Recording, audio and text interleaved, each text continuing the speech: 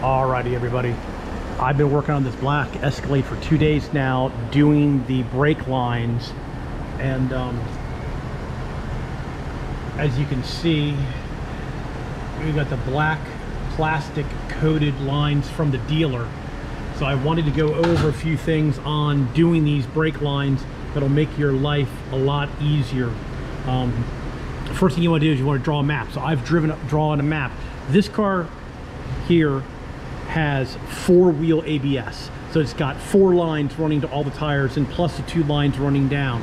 So what I have done is I have drawn a map of everything of how it goes.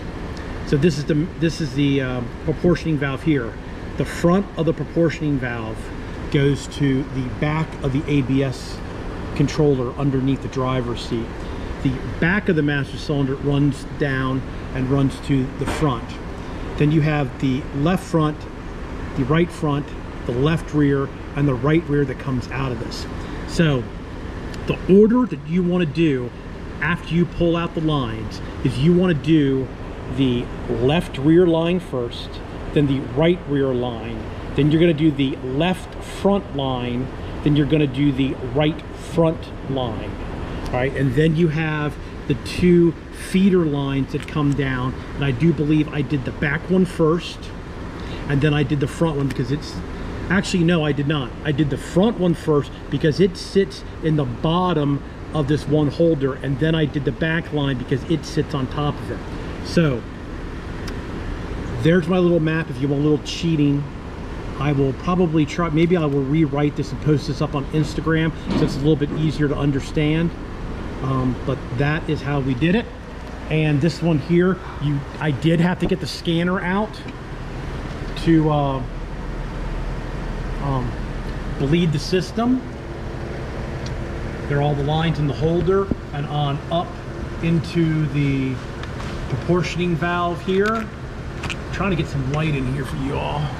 There it is, new lines there. I even replaced the lines going to the master cylinder and it even gives you a new line going to the ABS pump right there. So I would highly recommend using the dealer lines they actually fit better than any of the other lines that I've seen. I've used the stainless steel lines and they're hard to work with and bend, bend around and get them in. I've used the Dorman set. They're not quite bent right. This is the actual original General Motors set and they fit the best. Um, because part of the problem is, is the right front line runs all the way from that computer all the way up here, then across the cross member, and then over to the right front wheel. So it's a very difficult job. Um, it took me, uh, let me see, I worked on it four hours yesterday and about five hours today. And then I had to extract the bleeders. So be prepared to uh, put calipers on if you can't get the bleeders taken out. And you are gonna need a scanner to bleed the brakes. All right, everybody, this was just a really fast one. I know I didn't show you how you do it, but I showed you which lines go in first and which order they go into. That is a really plus when you're doing this. If you put them in in that order, everything's gonna go smooth. Get the original General Motors lines. All right, everybody, Thanks for watching. Please subscribe. You can always do that in that corner. And if you can, would like to leave me something, you can always leave me a little thanks right there. All right, everybody. Thanks a lot for watching. We'll catch you all later.